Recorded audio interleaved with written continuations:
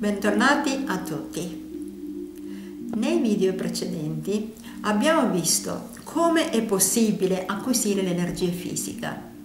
Una volta che abbiamo acquisito l'energia fisica, dobbiamo pensare anche all'energia spirituale.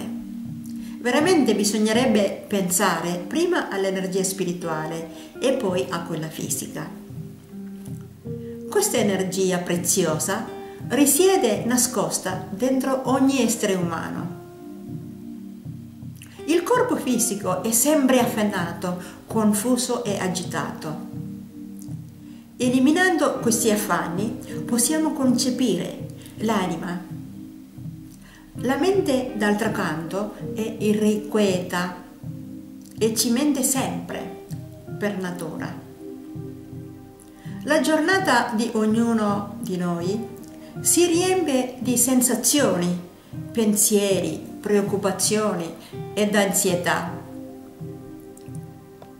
Noi tutti, presi da mille impegni nella giornata ed, incapa- ed incapaci di controllare la mente, finiamo per soffrire di molti disturbi, particolarmente da quelli cardiaci. Se noi facciamo delle ispirazioni profonde e tratteniamo il respiro per qualche momento, il battito cardiaco cambia, rallentando.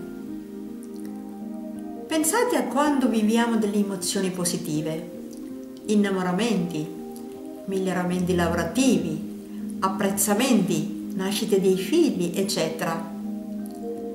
Ed anche quando ci troviamo a vivere emozioni negative, paura, delusioni, abbandoni, stress ed altro, il nostro cuore batte di sicuro più veloce. Questo fenomeno invece è molto naturale durante il sonno. I battiti cardiaci ed i respiri rallentano.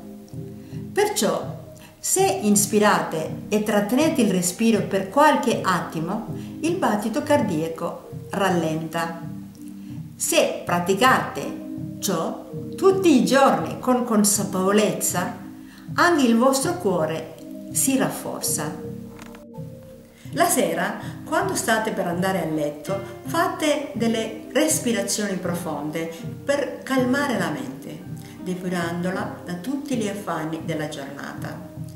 Se sentite rabbia verso una situazione o verso una persona, riportate questa sensazione nella vostra mente e sforzatevi di provare perdono.